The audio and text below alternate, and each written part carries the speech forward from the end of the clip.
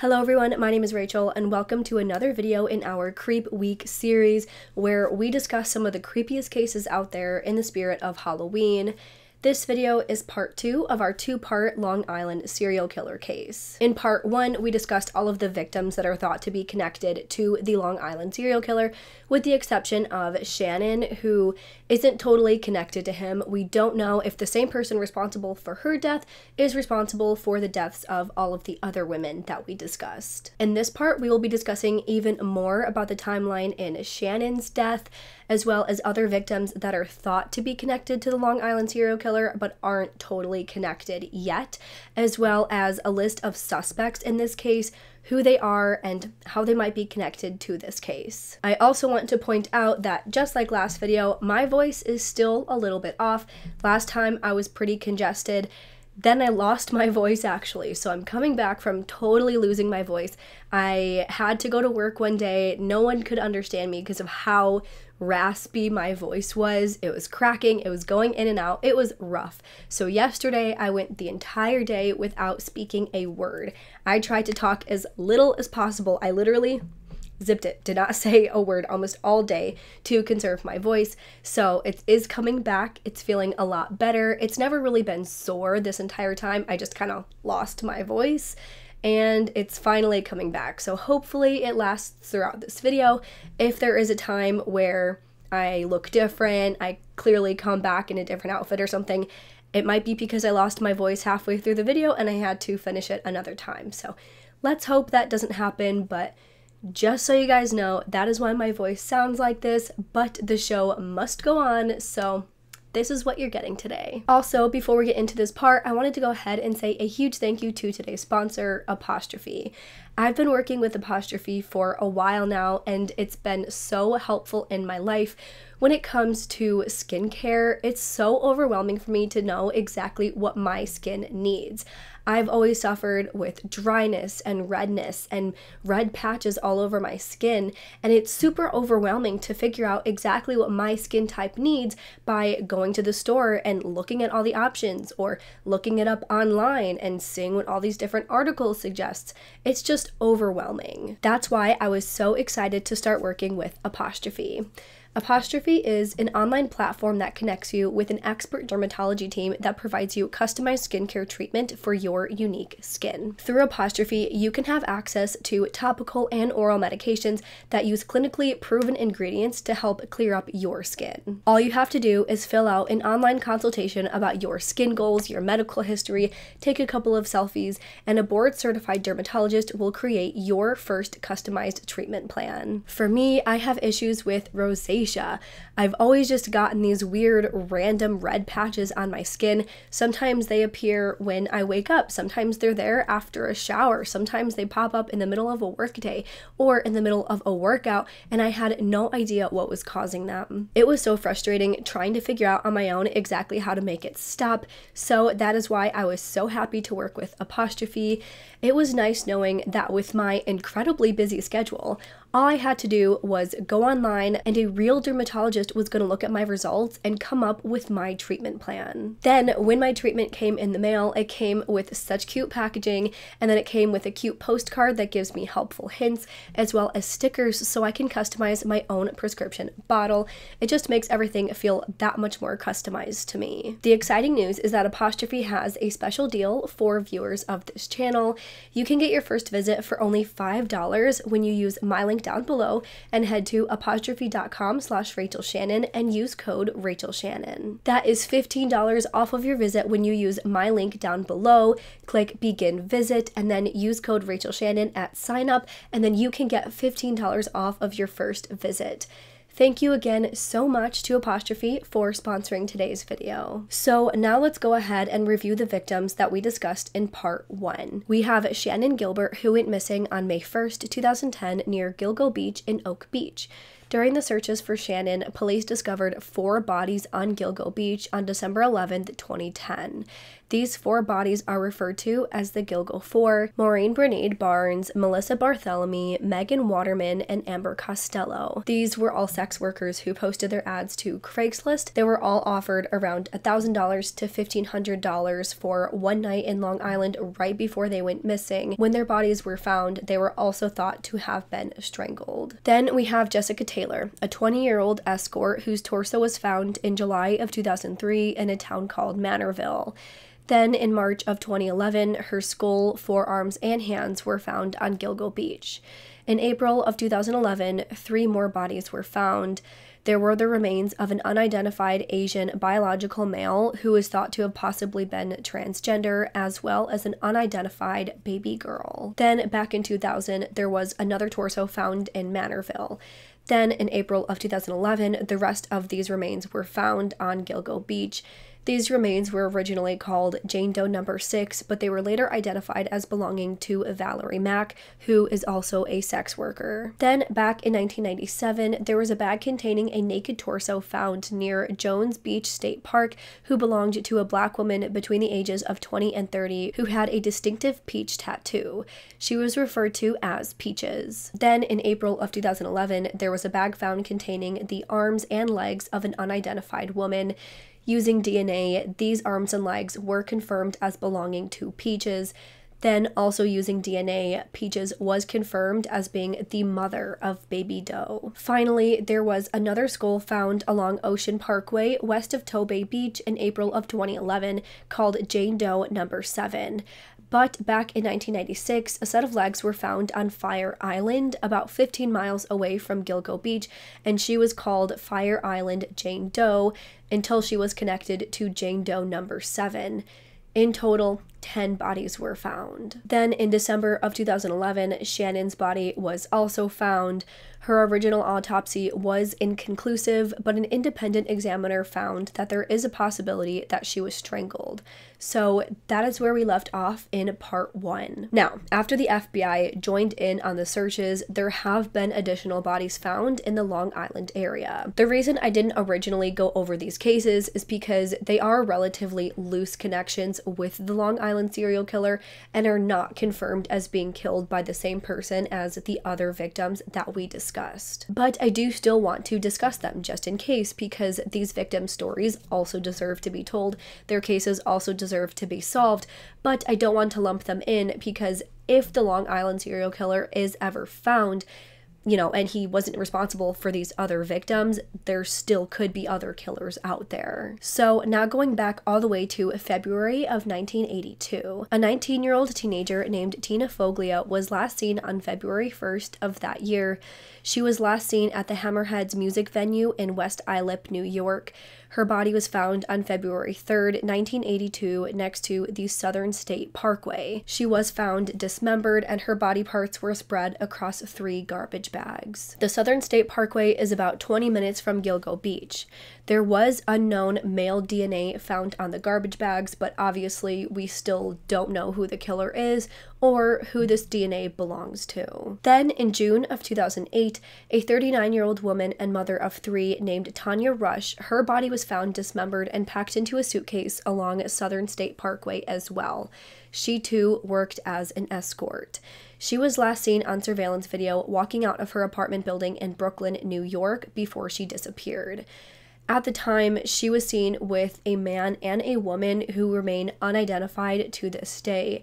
And again, we don't really know any further details about her case. So, whether or not these two victims are connected to the Long Island serial killer, it does seem that these two women are at least connected to each other. On January 13th, 2013, yet another set of human remains were found. They were found in a garbage bag along the shore in Lattington, New York, which is around a 45 minute drive north of Gilgo Beach. These remains belonged to an unidentified Asian woman, and she was wearing a 24 karat gold pig pendant, which may be a reference to the year of the pig in some Asian cultures. Then, by March 16th, 2013, at around 4:30 a.m., 31-year-old Natasha Hugo was last seen leaving her home in Queens Village, New York. The next day, her car was found along Ocean Beach Parkway near Gilgo Beach. Her wallet, ID, and some clothes were found within the car. By June 24th, 2013, unfortunately, her body was discovered washed up on Gilgo Beach about a mile from where her car had been found that March. Authorities found a set of footprints leading away to the car to the beach's edge. They also found a bathrobe as well as other clothing thought to belong to Tasha along the water's edge as well. Natasha's mother also came out to say that in the past, Natasha has had some pretty bad mental health issues where she thought that people may have been following her. So, again, at this point, it's not known whether she was killed or if it was an accident or if it was a suicide. As far as I've seen, there were no signs of trauma found on her body, so I don't believe she was strangled or anything like that but I did try to look up the autopsy. I tried to look more into this case, but unfortunately, there's just not a lot out there. And I also wasn't able to find the results of the autopsy that was performed. So it's thought that there are as many as 16 victims of the Long Island serial killer, with the more confirmed number being closer to 10. Like I said, I don't want to speculate too much about all of this, but I will say that I personally believe that the victims who fit the killer's MO are much more likely to have been killed by him. But if they're unidentified and we don't know who they are, then obviously it's hard to know if they do fit his MO. If they were women, we can't just assume that they were sex workers, but we also can't assume that they weren't if they were killed in a similar location and in a similar way to the other victims. So it is really hard to say. That's why I do want to mention them, but I don't want to go too far and speculate and say that they are, you know, the victims of the Long Island serial killer when there could be other killers still out there. But at this point, we know that there are a ton of victims and we know that there's one or more people out there who killed these people and are still out there and walking free. So, with that being said, now we're going to be discussing the possible suspects in this case. And when I discuss these suspects, I'm discussing them in relation to being the Long Island serial killer. So, these other victims, if they are connected, if they aren't, I'm talking about suspects now of the at least the confirmed 10. So, I'm discussing the Long Island serial killer, not the other perpetrators that could be responsible for these other murders, if that makes sense. Very long winded way of saying let's discuss who the Long Island serial killer could possibly be. By September of 2017, the Suffolk County District Attorney Robert Biancavilla announced that a now 56 year old man, 48 when he was arrested, named John Bittrolff, is being arrested for having possible connections to the women found at Gilgo Beach. So, John Bittrolff was born in 1966. He grew up in Mastic Beach and moved to Manorville in 2013. John worked as a carpenter and he was the married father of two children. Neighbors described John as being an overall friendly family man. He chatted with his neighbors and he was always very pleasant to interact with, and if somebody needed help, he was always willing to help them. However, in 2014, he was arrested in connection to two murders. So, first is 31 year old Rita Tangredi. Rena had worked as a sex worker, and on the last day that she was seen, she was seen hitchhiking along Montauk Highway in East Patchogue. I do apologize if I'm pronouncing that wrong, on November 1st, 1993. On November 2nd, 1993, her body was found naked and half buried in a wooded area at Esplande Drive in East Patchogue. She had been strangled and beaten to death. She was found with her skull shattered and her legs spread apart, and then she had been positioned with her arms above her head. Then, on January 5th, 1994, a 20 year old woman named Colleen McNamee, who did also work as a sex worker, was last seen getting into a small blue car in front of a Blue Dawn diner in Islandia. By January 30th of that year, her body was also discovered in a wooded area south of the Long Island Expressway in North Shirley. She had been found nude and she too was strangled and beaten. At the crime scenes of both women, detectives were able to obtain DNA samples. The DNA on each woman connected them to each other, so police knew that the person who killed each woman was the same person. Police also stated that both women were uniquely posed, but they didn't elaborate too much further on how, other than what I discussed, obviously. They also said that the same article of clothing was missing from both women, but once again, they didn't elaborate further on what these items of clothing were. Then they found very small, almost microscopic wood shavings either on or near both women. It was also said that both women suffered such severe head wounds from being beaten that their brains were exposed when they were found. So, what connected both of these women to John was that 20 years later, in 2014, his brother Timothy had actually been arrested on a misdemeanor charge that had nothing to do with this case. But police took a DNA swab from Tim, which showed that he was connected to the DNA found on both women's bodies, but it was only a partial match. So, this led police into starting to look into his brothers. So, first, police found John's brother, Kevin. They were able to obtain his DNA from a cigarette butt that he threw out of his car after smoking it but this DNA also was only a partial match. So, this led police to the next brother, John. Police started by setting up a camera outside of his house. Then there was one instance where John left nine garbage bags outside, so police immediately swooped in and looked through them. So, using a plastic cup that was found within the trash bag, John was found to be a complete DNA match to the DNA found on Colleen and Rita. So, of course, John was arrested.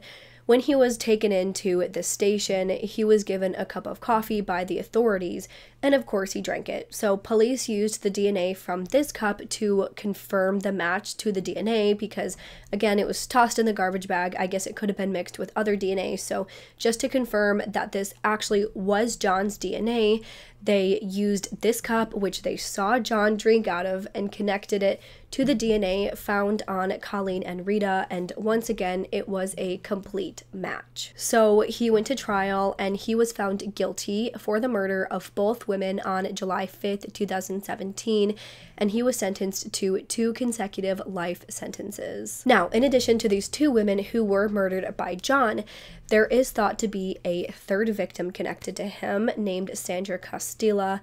She was 28 years old when she went missing. She had been found dead on November 2nd, 1993, in a wooded area in North Sea, New York, in Long Island. She too had done escort services and she was found to have been beaten very badly as well as strangled. She was found uniquely posed and she also had the same item of clothing missing from her body but the thing separating her from the other two women is that her body was actually found mutilated. I also don't think they found DNA on her because obviously, if they did, that would have given us a pretty good idea if it was his DNA or not.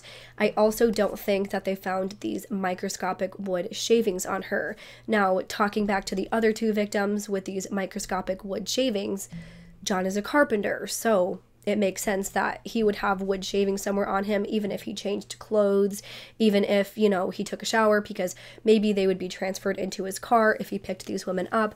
Any possible way that they could have gotten these wood shavings onto these women because he is a carpenter. So I don't think they were found on Sandra, because if they were, again, he might have been connected to her. So it is thought that he is responsible, but it hasn't been made official at all. So, the reason that I'm bringing up John Bittrolff is, of course, because he is thought to also be connected to being the Long Island serial killer. So, I actually found an interactive map created by the author of one of the articles that I read, of course, that will be credited down below in the description box. Either way, here is a video of where some of the victims were found in relation to one another and to where John and his father had lived. We see that Colleen and Rita were found near his current residence and his childhood home. We also see that Jane Doe number 6, who turned out to be Valerie Mack's torso, is also found near his home.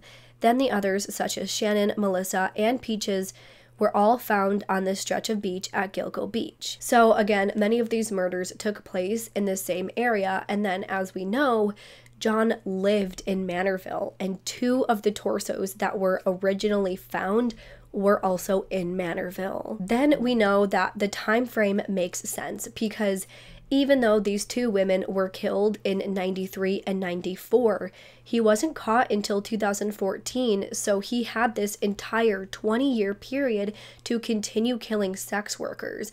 And it's hard to believe that he would just killed these two or three so viciously and just leave them like that and then just stop doing it for 20 more years. Some of the victims, as we know, went missing in the late 90s, some in the 2000s, and then some in 2010. We also know, again, that the vast majority of these women, if not all of them, were sex workers. So the location, time frame, and MO, they all match. However, the way these bodies were found does not match. This is the biggest thing that people point to as being a reason why John may not be the Long Island serial killer, but I do have an explanation for this. As we know, the first three women, so Colleen and Rita were found. They were badly beaten. They weren't really hidden, they were just out there, they were in the nude, and they were uniquely posed. So we know that the first four victims that were found were not dismembered, their remains were all together, but they were all wrapped in burlap and they were all buried next to one another on Gilgo Beach. Then four of the other victims were found dismembered, with partial remains being found on Gilgo Beach and then other partial remains being found in different areas of New York. Then we know that there's a baby found as well as a biological Asian male, and neither of them were found in burlap, even though they were found on the beach.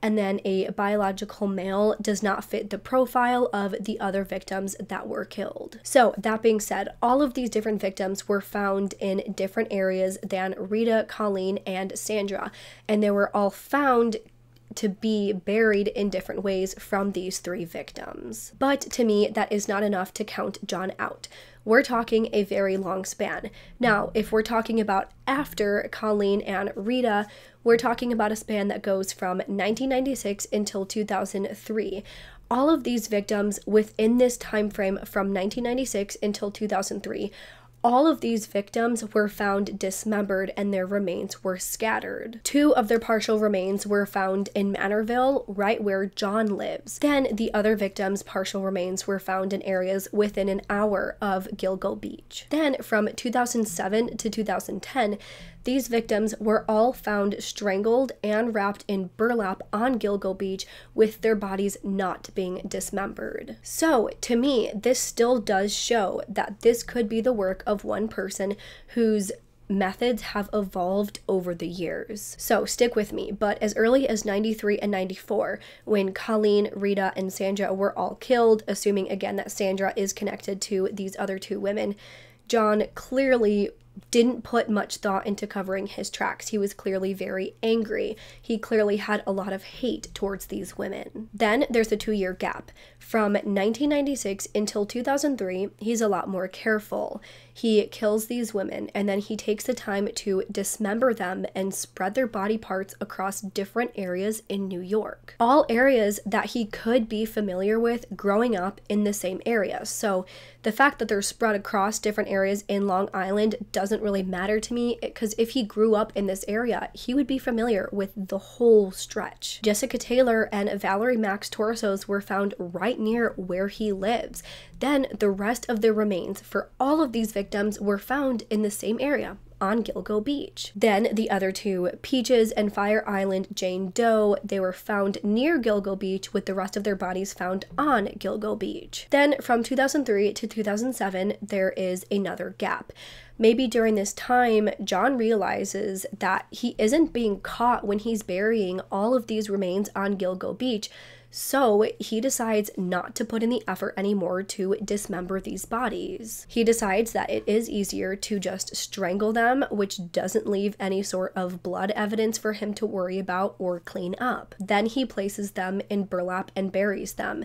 This is a lot easier than having to dismember them and going to all of these different areas to make sure they're spread out. He went all of this time from 1996 until 2007 without being caught. So he's probably like these people are never going to catch me. Why am I spending all of this time dismembering every victim when I could just wrap them in burlap and bury them all in the same place? Then we know that there is this unidentified baby found on the beach as well, which wasn't originally thought as being connected to the Long Island serial killer, but the fact that it's Peach's baby that makes the connection for me. Like I said in part one, I think it's very possible that Peaches had her baby with her when she was doing these escort services. If she was an escort, I don't want to assume that, but if she is the victim of the Long Island serial killer and she was an escort, she could have had her baby with her, and then the killer found the baby either, you know, already deceased from being left in the car for a long time, or he smothered the baby and buried her on the beach to just get rid of any potential, you know, people that can identify him eventually if she remembers someday. Or some people don't even know that a two year old can't identify them. So maybe they thought, like, this baby could identify me if I'm eventually caught. I don't know what could be running through this person's head, but I do think that that's how it went down. And I do think the baby is a victim of the same killer who killed Peaches. The only real outlier here is this unidentified biological Asian male who was found in female clothing. I do wish we knew exactly what kind of clothing. Was it something that a sex worker would typically wear, or was it something that you wear to a day in the office? I don't really know. So, if this person was a transgender woman who was working as an escort, then this could fit the bill for being a victim of the Long Island serial killer. So, we definitely cannot count this person out as being connected. So, the unidentified Asian biological male was not found wrapped in burlap. So, that could tell us one of two things either this person was killed at the same time or around the same time as Peaches, and this person just was not dismembered, or this person is the most recent victim of the Long Island serial killer, at least that we know of, because maybe the killer was no longer putting them in burlap. And obviously, we know that police were able to come out with a sketch of this unidentified Asian biological male. So uh, that makes me think that he wasn't completely decomposed to the point of not being able to be identified. So that can definitely tell us that maybe this was the most recent victim and that once Shannan went missing and everyone was searching the beaches and there were people flooding the area that that's when this killer stopped. I don't think it's a coincidence that all of the murders were grouped in the way that I just discussed. The earliest three victims were killed in the most vicious, most careless ways, and they were not even attempted to be hidden. Those ones left the most evidence. They were the most sloppy. They had DNA on them, and eventually, obviously, it led to him being caught. Two years later, four more women are killed over the span of seven years, each one being dismembered with body parts being spread out in various places, and then there is this one connection of at least part of the bodies all being found on Gilgo Beach. Then from 2007 to 2010, there are four more bodies also found in the same area, but this time they are not dismembered and they are wrapped in burlap. When you put it this way, it does show that it is possible that the same person is responsible for all of these murders, but evolved in their methods over the years. So, with all of that being said, we're still kind of talking about John at this point.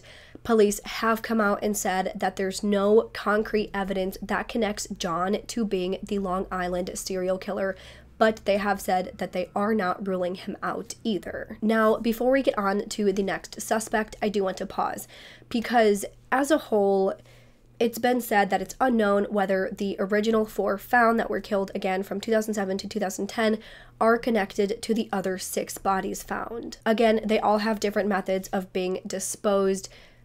Either way, whether it was John or not, I think the explanation stays the same. So let's say that John isn't the Long Island serial killer and that these three earlier victims are not connected to the Long Island serial killer. Let's say that the Long Island serial killer starts in 1996 with Jane Doe number 7, aka Fire Island Jane Doe the grouping stays the same. We just aren't counting the original three very sloppy and very careless murders. From 1996, from 2003, he still dismembers them. Then there's a four year pause. Either there's a four year pause or, you know, these other victims are just not connected to him and there's more out there, but you know, this not hidden in the same place. But for the sake of the argument, let's just say that there's a four year pause because then from 2007 to 2010, he no longer sees a need to dismember them. Or maybe he just frankly got tired of all of the effort, or both. So instead of taking the time to dismember, because it's not something that we want to think about, but just try to imagine for a minute how much effort that would take that would be a lot. Just think of how strong your joints are, how strong even your skin is. It takes a lot of effort to dismember somebody. So if he just got tired of it and realized, like, I'm not being caught, so why am I going to take all the time to dismember them when I could just put them in a burlap sack and bury them on the beach?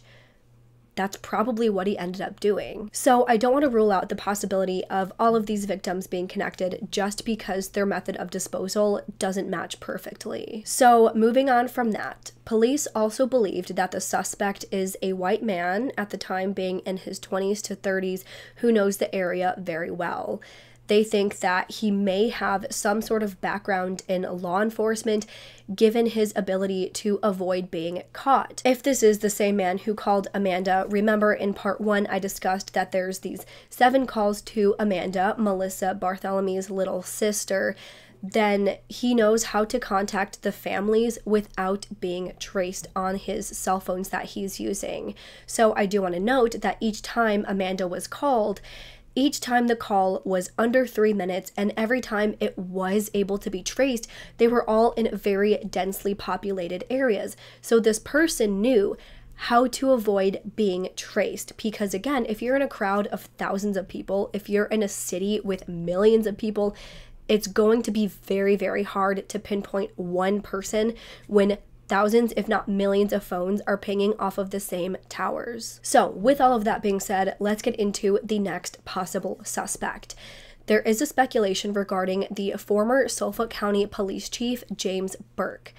So, it has been said that in his early days of his career, James Burke was caught having sexual relationships with sex workers and for using drugs. In the 1990s, he was caught having relations with a sex worker on duty while in uniform in his police car.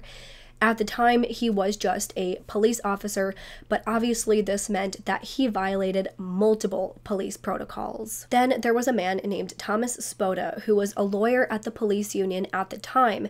He represented James's case at the time and he worked out a plea deal to basically save his job. By 2001, Spota was elected as district attorney, and from there, James Burke was promoted within the police department multiple times. So by 2012, James Burke was made police chief. So it's thought that even though he had all of these things on his record, even though he's sort of known for being involved with sleeping with sex workers and using drugs, he still somehow managed to be promoted to police chief Part of that is thought to be because of his close relationship with Thomas Spota, who was the district attorney at the time. By later that year, in 2012, not even a year into him being police chief, a 26 year old man named Christopher Loeb broke into James's car. So, Christopher was a heroin user who regularly broke into cars around Long Island to find things to sell and fund his addiction. On this day, Christopher broke into a GMC Yukon and he stole a duffel bag out of the car. In the duffel bag, he found a gun belt, a box of ammo, a Huberter cabinet with cigars in it, and then a canvas bag containing a bunch of sex toys and porn videos. But he was caught by December 14th, 2012, and was taken in for questioning.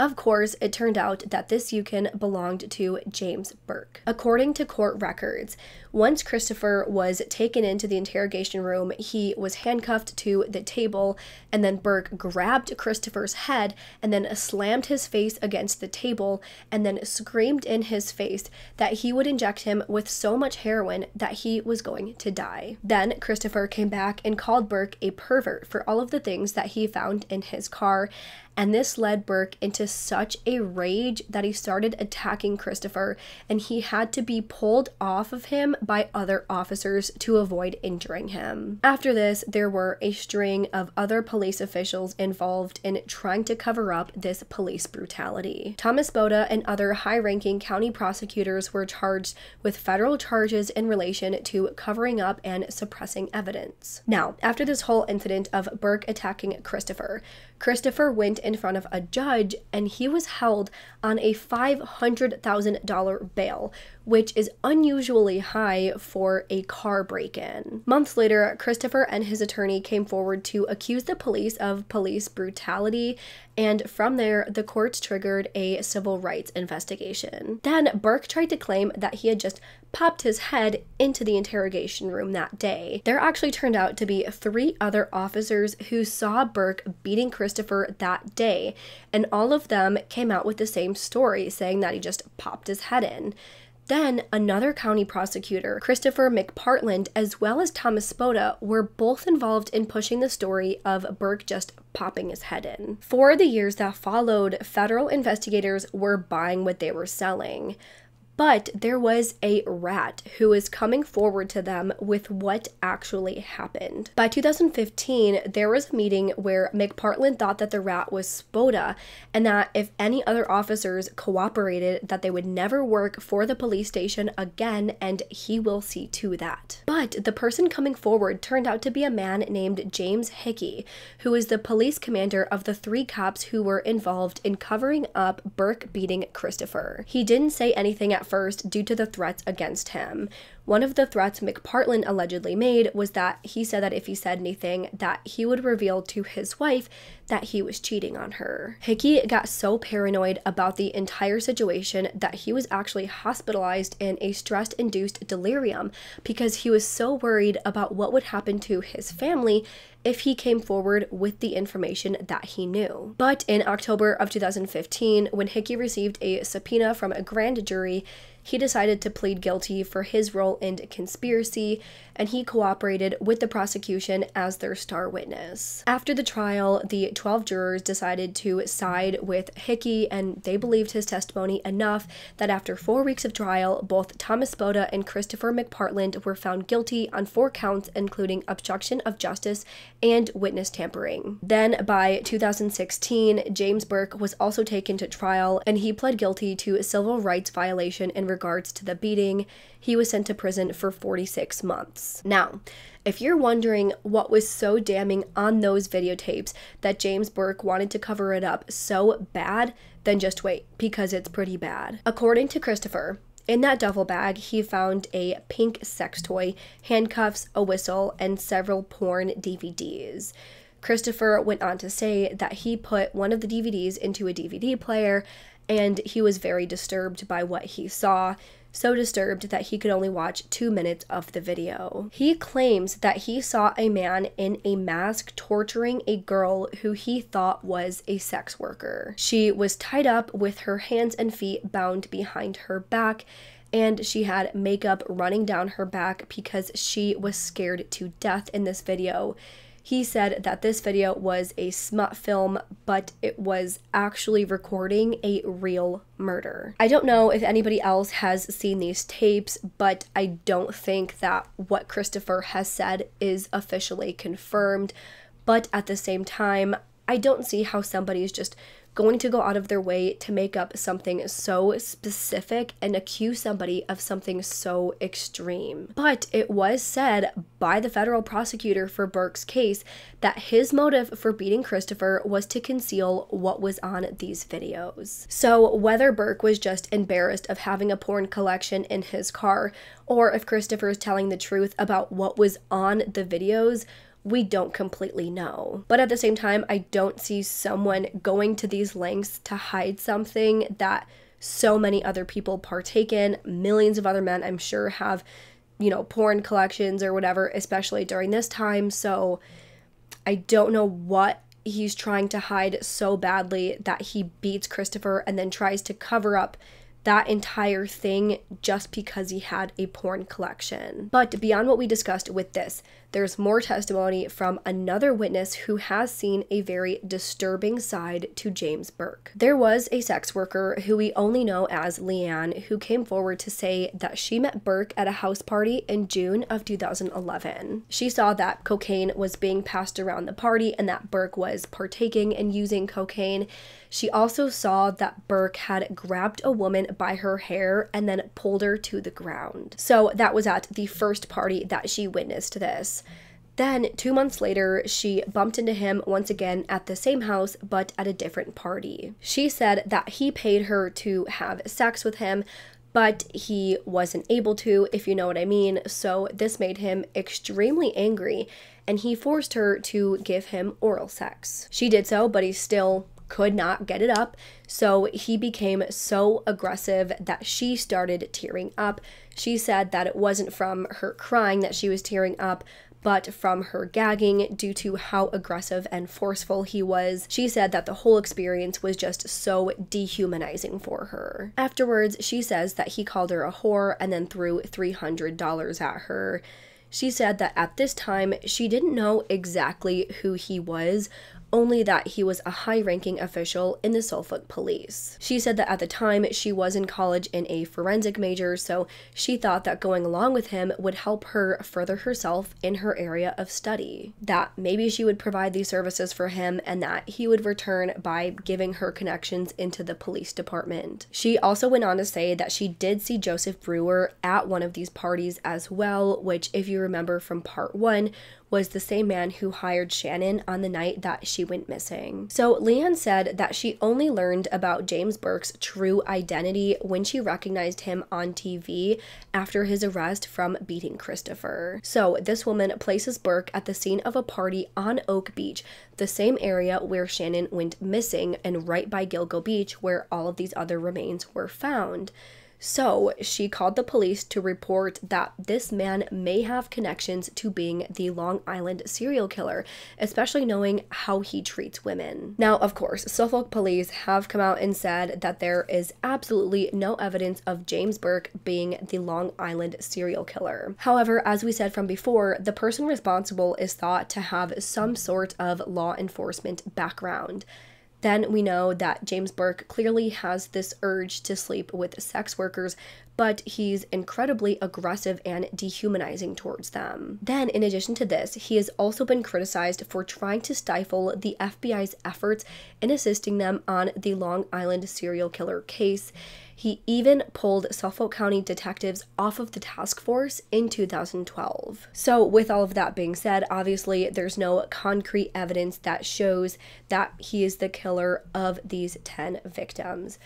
But many people think that his behavior towards sex workers, his clear history of abusing and threatening witnesses, these videos that he allegedly have of the torture of bound and gagged women, and his proximity to all of these locations, they all can pinpoint towards him being responsible. I will say though that to me, in my opinion, if he is involved, I don't think that it's this big cover up by the police department like in Christopher's case. Just knowing that someone came forward in that case in a much smaller case than him being a literal serial killer that makes me think that if anybody else knew in the department that he was responsible for 10 vicious murders, I don't see a world where nobody would come forward with that information. Not saying that it's not possible that he's involved, but I do think that if he is, not many people, if anybody, know about it. I will say that if he isn't responsible, then it is possible that he's just a really awful person who doesn't care about women and who really just treats women who work as escorts really badly. I think that it can be explained that him wanting to tamper down the efforts and trying to find out who the Long Island serial killer is this can be explained by the fact that he just purely hates and has so much disregard for these women, so much so that he feels that investigating their murders is just a waste of resources. So I do think that that could explain why he doesn't want to investigate this case again just because of the hatred that he has towards these women. I do think that there are a lot of things that do point towards him being responsible, but I do think that they can be explained away pretty easily. So, once again, with him, I don't know if he's involved, and I don't know if I think he's involved. I think it's more likely that he's not, but I don't want to completely disregard that possibility. So, the final suspect that I want to discuss is Dr. Peter Hackett. Peter Hackett is a man in his late 50s to early 60s who lived in Oak Beach.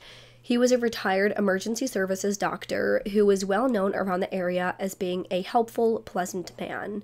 Neighbors described that any time they needed help with something small or something big in an emergency, he was always there to help.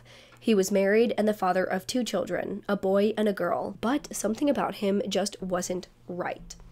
So, two days after Shannan's disappearance, by May 3rd, Dr. Hackett had given Mari, Shannan's mother, a phone call. When she answered, he introduced himself as being Dr. Peter Hackett and he asked her if she has seen her daughter Shannan. This immediately struck Mari as being strange. She said no, she hasn't seen her, and so she asked him who he is again. And he actually apparently said that he is a Suffolk County police surgeon and a medical examiner. He also apparently said that he had a doctor's office in Oak Beach where he ran a clinic for drug addicted girls and sex workers. And he said that he had basically a halfway house where he kept these women safe so he told her in this phone call not to worry about Shannan. He said that Shannan had run over to his house on the night that she went missing. So, as I explained before, she ran over to Gustav's house and then to Barbara's house, where she then ran off and Michael couldn't find her afterwards. However, we now learn that apparently she had also ran over to Dr. Peter Hackett's house after Barbara's house. He explained to Mari that when she got there, she was knocking on his door very erratically, so he answered.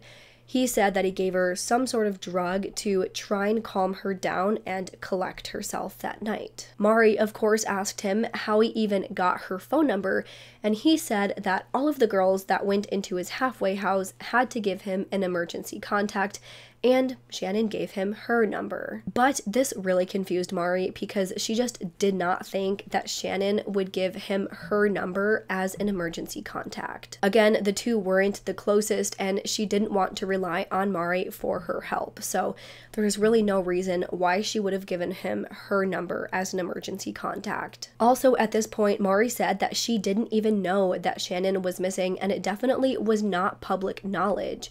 So it was actually after this call that the family finally reported her as a missing person. After getting this call, Mari's daughter and Shannan's sister, Sherre, went back to talk to Dr. Hackett about the call to follow up.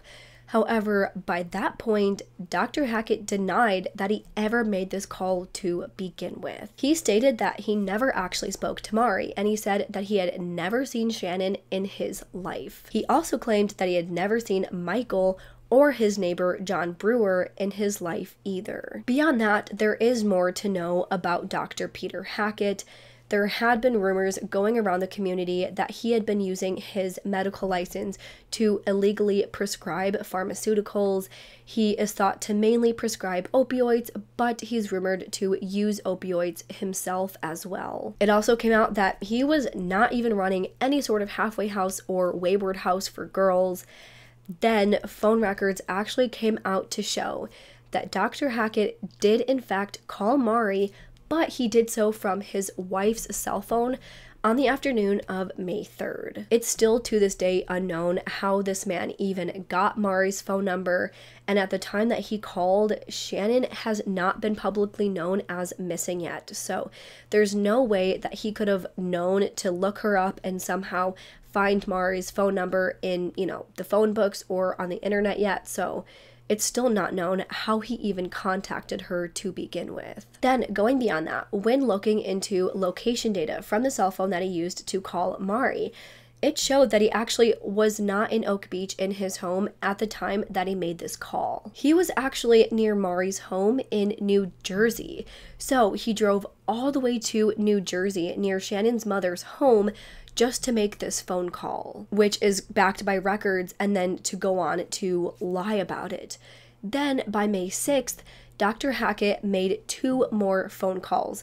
One was to Shannan's boyfriend, Alex, and then one was to Mari again. When later asked about these phone calls, he said that he just called them to wish them well.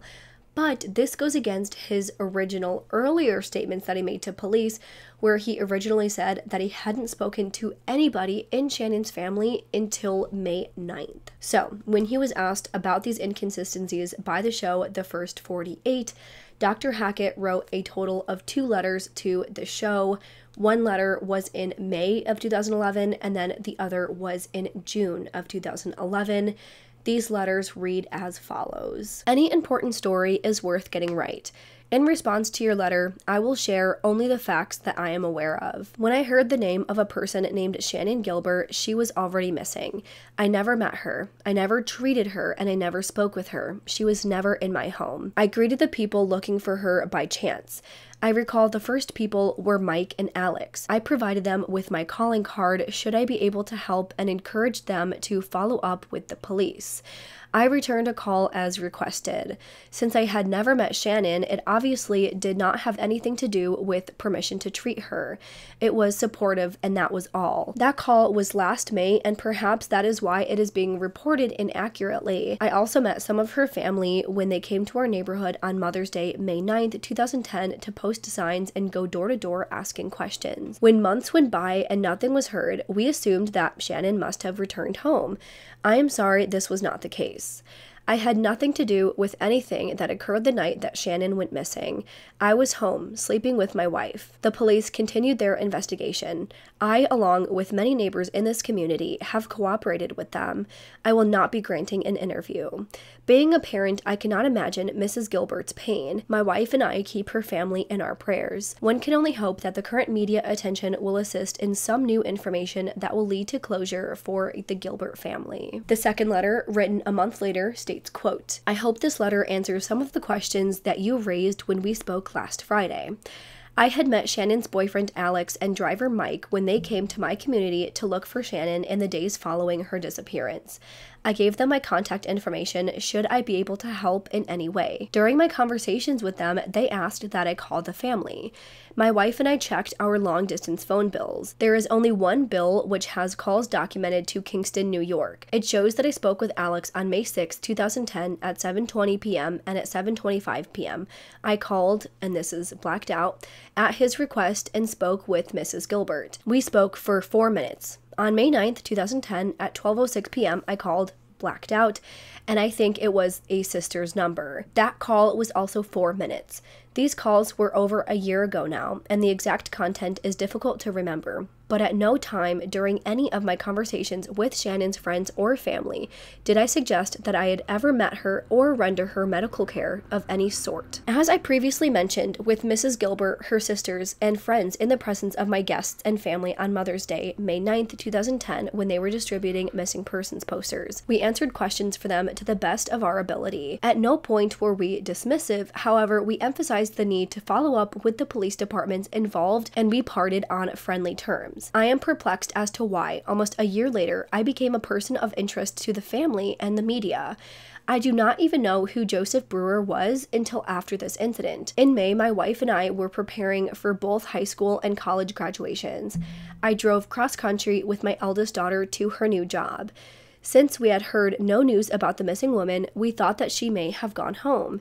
In December, when the newspapers reported a body found, we realized otherwise. You asked me why I didn't take a polygraph test. I was willing, but I learned that certain health issues that I am being treated for would negate its results, therefore its interpretation. Frankly, since I am not a suspect, it would be a waste of time and resources. I am allergic to dogs, but welcome the cadaver dogs to come through my home and my property. They found no evidence. Once again, I emphasize my fervent hopes that Shannan is found alive, and if there was foul play, that justice can take its course. So that is what Dr. Hackett had to say about all of this. I will note that he does have a heart condition. He has history of atrial fibrillation, so it makes sense why he wouldn't want to take a polygraph test. So he's not just blowing smoke for that, but that is all I will say about that. Then, a year after Shannan's disappearance, Mari started confronting Dr. Hackett herself about his involvement in Shannan's death. And again, he claimed that he knew nothing about it. As the efforts to search for Shannan ramped up, Mari was pushing for the marsh behind Dr. Hackett's house to be drained. Dr. Hackett fought this at first, but eventually he did allow it to be drained and this is around the same time that her body was found. Like I said earlier, they had found her cell phone as well as a couple of items of clothing in the same area a couple of days before her body was found. But what I didn't mention was that the area that Shannan's body was found is actually viewable if you're standing on the back porch of Dr. Hackett's house. So Mari was convinced that Dr. Hackett was the one responsible for Shannan's death. As we know, he lives right next door to the last house that she is confirmed to have knocked on their door. He somehow knew about Shannan going missing before it was made public news.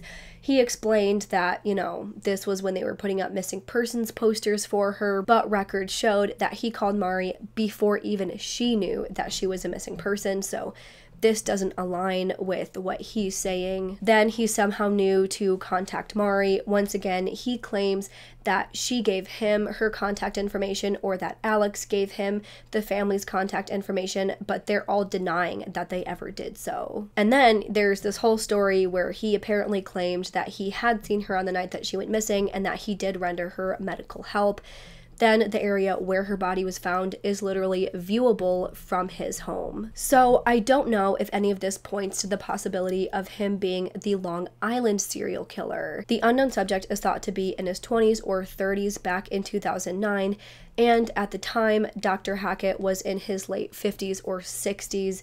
So, for the sake of this theory, I think it's more likely that if he is responsible for Shannan's death, that he is responsible for Shannan's death alone and that she is not the victim of the Long Island serial killer, but of Dr. Hackett, who acted this one time and this one time only. So, that being said, police have said that they cleared Dr. Hackett of having any involvement. He has since moved to Florida away from his home, saying that he just could no longer stand the speculation and the harassment that he gets from this entire situation. Now, when it comes to the odd behaviors that Dr. Hackett was exhibiting, People who know Dr. Hackett say that he is a serial exaggerator. He's a man who likes to stick his nose in business that it doesn't belong. He likes to get involved in things so that he can tell these extravagant stories. It's also been said that him and the one neighbor, Gustav, are pretty good friends. Now, other sources say that Dr. Hackett denied even knowing Gustav, but other sources say that they actually were pretty good friends. So it is possible that Dr. Hackett learned about this crazy story of this girl knocking on Gustav's door, him calling police, and then her just disappearing into thin air and then you know the next day people are coming around and looking for her so dr hackett takes that as an opportunity to insert himself into this story that he has nothing to do with and he decides to claim involvement in some way just to get some sort of attention. Then it's possible that somehow he got into contact with Mari. Maybe Alex was going around looking for Shannan and gave the family's contact information to Gustav, who then gave it to Dr. Hackett. I haven't heard anything about this, but I do know that Gustav has since passed away, so there's really no way to ask him about this aspect of it but it's always possible that Dr. Hackett got the contact information from Gustav and just hasn't told anybody. Maybe again, he inserted himself into this whole situation just so he had this interesting story to tell and that he could say that, you know, he had involvement, but when he realized that she actually died and that, you know, now it's being connected to this big serial killer case, he realized that he dug himself far too deep and that he needed to get out of this as soon as possible. So I do think that this could explain it that this is just a really weird guy who likes to put his nose where it doesn't belong. We know that there's people out there who do this unfortunately for some reason who like to just pretend like they're a part of this really interesting thing that happened, even though they had nothing to do with it. I'm sure you know someone like that in your life, probably not to this extent, but who will claim, like, oh, I was near, you know, this big thing when it happened, even though I had nothing to do with it and I had no idea that it happened until the news came out about it. I was near it. People try to insert themselves into these crazy stories so often, and I think that it's possible that that's what he was doing. But the one thing that irks me about this, though, is how he drove near Mari's house just to make this phone call. I that really irks me about this entire thing. Why go all that way just to make this phone call? Why not just make it from your home? That part is really strange to me. And then again, we know the fact that her body was found within view of his back porch. So those two things really irk me. But again, we don't know why he did these things. He explains them or he denies them. We don't really know, but he could just be trying to insert himself into a situation where he doesn't belong. In 2013, Mari had actually filed a wrongful death suit against Dr. Hackett. Her attorney claimed that Dr. Hackett had claimed to have medicated Shannan because she was so upset. Two neighbors did come forward to say that they have seen him treating other people illegally with opioids, so that's basically what the suit was claiming. They stated, quote, The plaintiff claims that Shannan's belongings were found approximately 30 yards behind the home of the defendant, Dr. Charles Peter Hackett, in Oak Beach, New York on Jones Beach Island. More than a year later, Shannan's badly decomposed body was discovered approximately half a mile from there in the heavily thickened marsh that lies between Oak Beach and Ocean Parkway. During the evening prior to her disappearance, Shannan reportedly had been present at a party at the home of one of Dr. Hackett's Oak Beach neighbors. Plaintiff claims that Dr. Hackett led Shannan and later her mother, Mari Gilbert, to believe that he owned and operated a home for, quote, wayward females out of his Oak Beach house and that he would render, quote, aid to her there, including medical treatment. That Shannan, in fact, came under Dr. Hackett's care and control and was administered medication by him. That Shannan was in such a state of confusion and, quote, mental derangement at the time that she was, quote, incapable of making any informed decisions and of understanding her own or her surrounding circumstances. Of course, Dr. Hackett and his family denied these allegations, and due to the statute of limitations, the case was quickly dropped. So, in terms of suspects, these are the three people that have been speculated as being the Long Island serial killer but we don't know, of course, if any one of these men are responsible or if there's somebody else out there going around and killing these women. By January of 2022, police actually came forward in a press conference about information regarding a piece of evidence that was found early in the investigation. This was a leather belt which had the initials of either HM or WH written in the leather. They said that they believed that this belt was handled by the suspect and did not belong to any of the victims.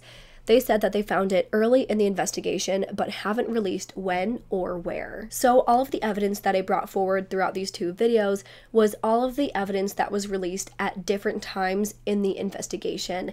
So, even though I put it into a timeline of when these things happened, it's not necessarily when this information was released to the public. So, for examples, Shannan's 911 calls weren't released until just recently.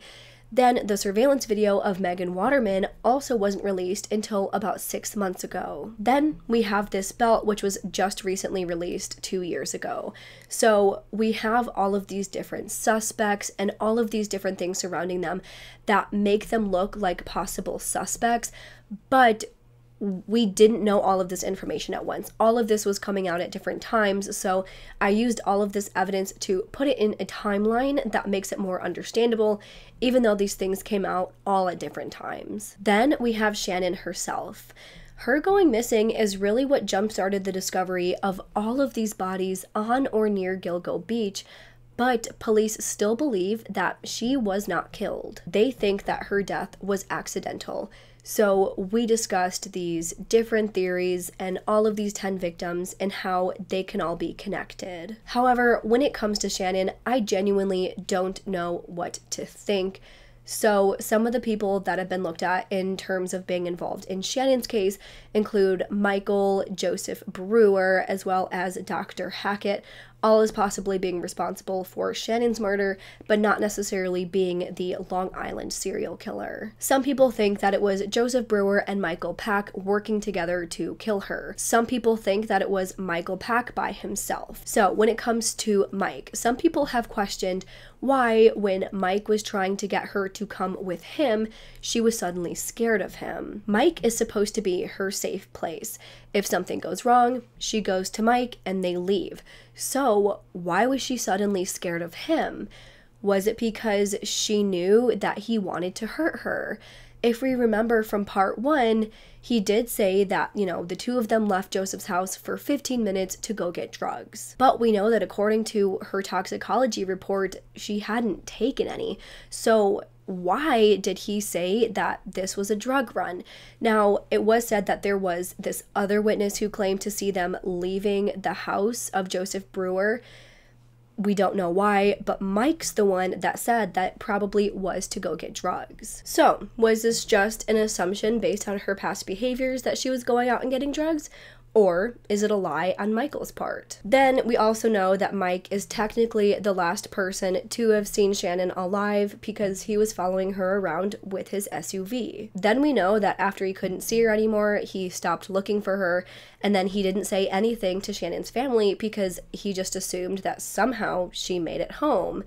Don't know how else he thought she was going to get home, but he said that he thought she made it home somehow. So I do think that in terms of Mike being responsible, let's sort of go down that avenue of how that could have happened.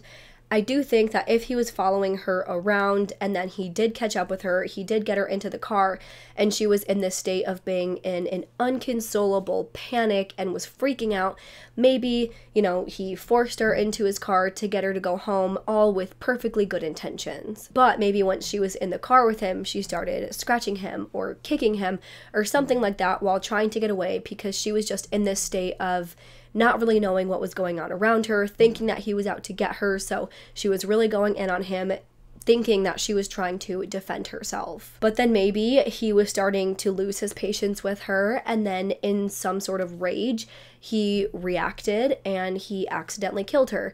Maybe he was trying to calm her down, pushed her down, something like that, was trying to restrain her, and he got so frustrated that he choked her or something like that to get her to stop. Maybe there was a situation where he accidentally hit her with his car while he was following her and she died because of that, so he panicked and dumped her body in the marsh. So to me, those are really only the possible scenarios of him wanting to kill her. I don't see a situation where he planned to kill her, where this was a premeditated thing, because his history just does not show that. She did trust him for the most part, and you know, Joseph hasn't said anything about him having this weird behavior where he thought that maybe Mike wanted to hurt her. There's nothing else that came out about him to make me think that he's suspicious in any other way. So I do think that if he is responsible, that this was a manslaughter or second degree murder type of situation. Then, of course, people think that Michael Brewer on his own is the one responsible. Some people say that it's Peter Hackett. So, for this case, then obviously, I don't think that if they're the ones who killed her, I don't think she's the victim of the Long Island serial killer because I don't think any of these three men, so Mike, Joseph, or Peter Hackett, I don't think any of them are the serial killer. They could be, but in my opinion, I just don't think that they are. They do live very close to Gilgo Beach. They do, you know, have connections to the area. Joseph is known to hire escorts but I feel like if he was going to kill her, then when they drove off for that 15 minutes, maybe he would have done it then. I don't really know. I think that maybe there's a situation where they drove off for that 15 minutes, he tried killing her, and then somehow was not successful, so they came back, and that's why, you know, Shannan was freaking out at that point. But I don't know why then Joseph would come out to her driver and say, Yo, come get your girl, or whatever. So I don't see how that situation would make any sense. I personally think that if Joseph was responsible, that he would have gone out there and been like, "Hey, you should leave. Like, Shannan's staying the night. Like, there's no reason for you to be here anymore. And then he would have made sure to wait until Mike leaves to actually kill her because it makes absolutely no sense for him to kill her while Mike is still there because obviously he's going to be a witness. I don't know. With this whole situation, there's clearly a reason that Shannan started freaking out. I don't think it was just a situation of like, nothing was happening and then all of a sudden Shannan broke. I think maybe Joseph said something to her or did something to her that caused this, whether it was him trying to do something weird with her that she really didn't like that made her think that he wanted to hurt her, whether he said something to her, maybe he said something about the other bodies hidden. I don't really know, but I do think that something happened that made her freak out. Again, I don't think it was completely out of the blue, but at the same time, I don't see how Joseph could be the Long Island serial killer, but there's always that possibility. I just don't think we know enough about Joseph to point towards him being responsible for anything other than Shannan's murder, but at the same time, again, he does live close to the area and it could make sense if we knew more about him. So, with that being said, if Shannan is the victim of the Long Island serial killer, I just don't know how that would have happened. So, let's assume for now that it's not Dr. Hackett, that it's not Mike, and that it's not Joseph. How would she have happened to see him or catch up with him in that moment? Maybe you know she caught him in the act of burying someone and then he killed her because of that and she just happened to be a sex worker. That would be the world's biggest coincidence that she happens to be a sex worker and caught this man burying someone and that you know she was just killed because of that. So i don't think that that's true I do think it's possible that maybe she had another date set up after Joseph and that she had planned on meeting up with him, and that the reason she sort of freaked out was maybe because Joseph got upset that he wanted her the rest of the night and that she had this other date set up. So, you know, she left because of that. And then, you know, eventually after running off, she did make it to this guy. Maybe, you know, she had a burner phone that he was contacting him and she met up with him, he picked her up and then killed her. And that's why maybe Mike lost sight of her because she was running off somewhere to hide. Call this guy, say, hey, come pick me up for our date. And then he did and killed her in the area. I do know that a lot of the escorts will set up multiple dates in a row, obviously to make the most money possible. So it is possible that she met up with him that night and that you know, that's why she was found in the marsh and that's why she was found in the same area is because that's where he dumped her. But I just don't know. I don't know how possible that is. She doesn't necessarily fit in with the other ones because her items were found, and none of the personal belongings were found with almost any of the other victims, with the exception of the jewelry. Then again, with Shannan's whole situation, we have to wonder why she was in this panic. Was she on drugs and the toxicology report just didn't pick it up because she was so decomposed? Did something happen with Joseph that made her think that her life was in danger? We don't really know.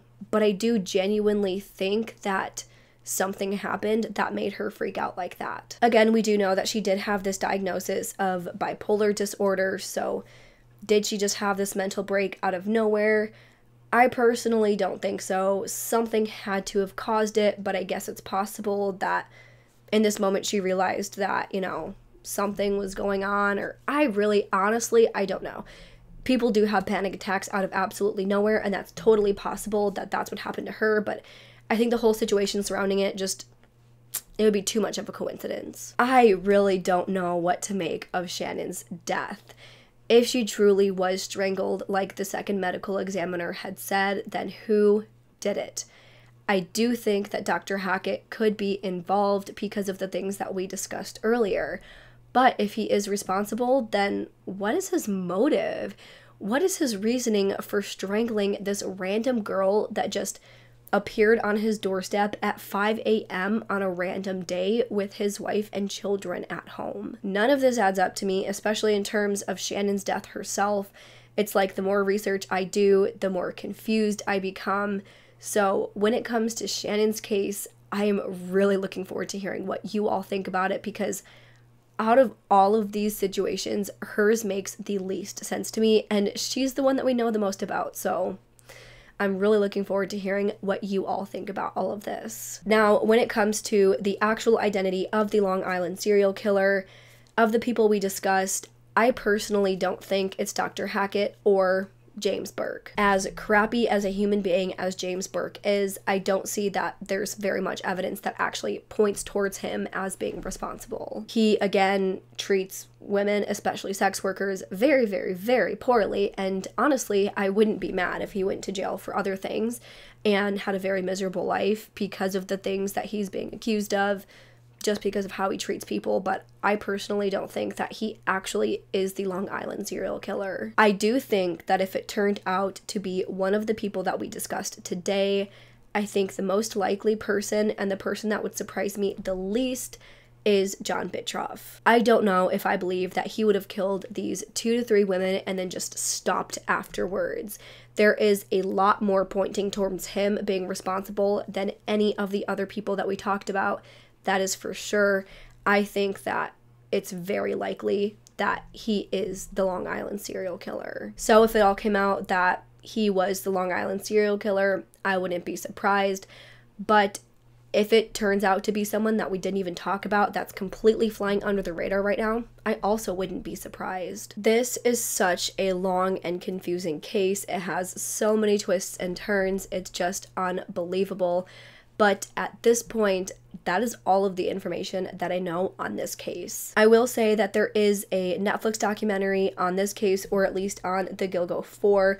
This has reenactments and actors, I believe, and it's been said that a lot of their focus is on Dr. Peter Hackett. As I researched, I did find the documentary, but I chose not to watch it because again a lot of the feedback said that it is really good but the biggest thing that i heard about this documentary is that the creators of this film spend a lot of their time on Dr. Hackett. So I will probably watch this film on my own after recording this series, but I didn't want to watch it before because I don't want outside opinions to influence my own decision making and my own opinions, if that makes sense. I want to read the articles for myself and then come to my own conclusions based on the unbiased information that I'm reading and then make it into a video to give you the most unbiased, neutral standpoints that I can without being, you know, influenced by outside opinions. I am very open minded, especially when it comes to this case. So if I watch a case that really goes in on Dr. Hackett, I can see how I could get influenced by that and think that it's him. And then if I see another one where I really think, you know, that James Burke is involved, I could start thinking that it's him because there's one really long, you know, podcast about James Burke's involvement and then this documentary I'm talking about with Dr. Peter Hackett's involvement. So I didn't want to be swayed in any one direction. I wanted to read the information present it to you guys how I was able to interpret it and then come to my own conclusions and let you guys come to your own conclusions. I think this is the longest amount of time I've spent on any one case, and it's the longest video I have probably on my channel. It's the longest series I have, but this case really needed the time. I tried my absolute best to give you the most information about each victim that I could, but some people just unfortunately did not have a lot of information about themselves online, which definitely is unfortunate. You know, I like to go into the background and the history of each victim, but that just is not possible when there's so many people and so many people that aren't identified and so many people that you know, had these types of lives where they, you know, lived and kept a lot of information to themselves, didn't, you know, make a lot of things about themselves public, maybe didn't spend as much time with their family as some people do. So there just isn't a lot of information about some of these victims, which again is unfortunate, but I did my best. But either way, I cannot believe I'm saying it, but that is all I have for this series. Thank you all so much for sticking with me through these two very long videos and through this whole fiasco of like my voice going out and me sounding nasally and the other ones. I was like, of course, the one time I have this really long video series to do is when my voice goes out. So you should have heard it. This is Thursday that I'm recording this on Tuesday. Oh my gosh, I literally could not talk. I was like, that's just my luck. But I'm so happy that I was able to record this video, even if I sound a little bit scratchy, even if tomorrow I lose my voice a little bit more because I abused my voice today and talked a lot. So, wish me luck with that. But thank you guys all so much for sticking with me through all of this. Thank you guys for being here for my very first Creep Week. I absolutely love the series that I'm doing. I think it's a great opportunity to look into these more involved cases. And next week, we're going to be talking about an actual serial killer who has been identified. So that one will be interesting to do a dive into the psychology and why this person does what they do. This case was a great one to look at all the victims and think how are they similar? How are they different? Can we connect them? What makes it seem like all of them could be the work of one killer? Or is it multiple? So that's why I'm very interested in this case, and that is why next week I'm going to do a little bit of a different case where we do know who the serial killer is, we do know the victims, we do know the outcome of the case, but we can examine what this person was thinking and how they got to be where they are. But with that, I cannot wait to hear what all of you have to say about this case. I literally will be refreshing the comments after I post this video to see what all of you guys think. So please let me know your thoughts and theories in the comments below. If I didn't mention something that you thought of, please let me know that as well. If I said something that doesn't make sense to you and needs clarification, please comment that as well. Comment any thought that you have because I'm really looking forward to dissecting this one with all of you guys. Do you think all of these victims are connected? Do you think that this is the work of one killer or many killers? Killers. Do you think that these victims are grouped in this way because they're the work of three different killers? Do you think that the Long Island serial killer killed Shannan as well, or do you think that she is a completely separate case from all of this? What do you think about the suspects that I mentioned? Do you think that any of them could be the Long Island serial killer? What do you think of Mike, Joseph, and Dr. Hackett? Please let me know all of your thoughts and theories down in the comments below. If you liked this video, please make sure to go ahead and leave this video a thumbs up and subscribe to my channel. I put out new true crime and mystery videos every single week. Don't forget to turn the notification bell to on so you don't miss out on any of my future videos and you don't miss out on the rest of Creep Week, which will happen next week. Let me know down below if you enjoyed these types of videos and if you want me to keep making them in the future make sure you go ahead and use my link down below and head to apostrophe.com slash Rachel Shannon and use code Rachel Shannon at checkout to get your first visit for only $5. Make sure you go ahead and follow me on Twitter and Instagram. Both will be linked down below. And if you have absolutely any case suggestions, please send those suggestions over to my email at rachelshannoncases at gmail.com with that, I hope you guys have a great week. I'm gonna go rest my voice now. stay safe, stay healthy, and I hope to see you guys next time. Bye.